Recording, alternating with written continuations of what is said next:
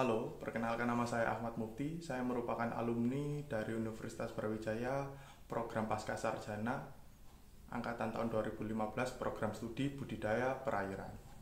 Selama saya melakukan proses tadi, saya mendapatkan banyak manfaat, terutama di bidang akademis maupun non-akademis.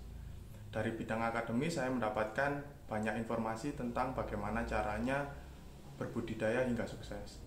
Dari segi non-akademis, saya mendapatkan arahan terkait masalah soft skill seperti bagaimana caranya berkomunikasi yang baik dan bagaimana cara kita bersikap ketika kita terjun di masyarakat. Selain itu, saya juga mendapatkan banyak relasi di bidang yang sama dengan yang saya jalani. Seperti itu. Kemudian, alhamdulillah setelah saya lulus dari Universitas Brawijaya, saya dipercaya sebagai area manager divisi udang untuk area Jawa Timur oleh perusahaan Eviseri. Sekian sharing yang bisa saya sampaikan, kurang lebihnya saya mohon maaf. Terima kasih.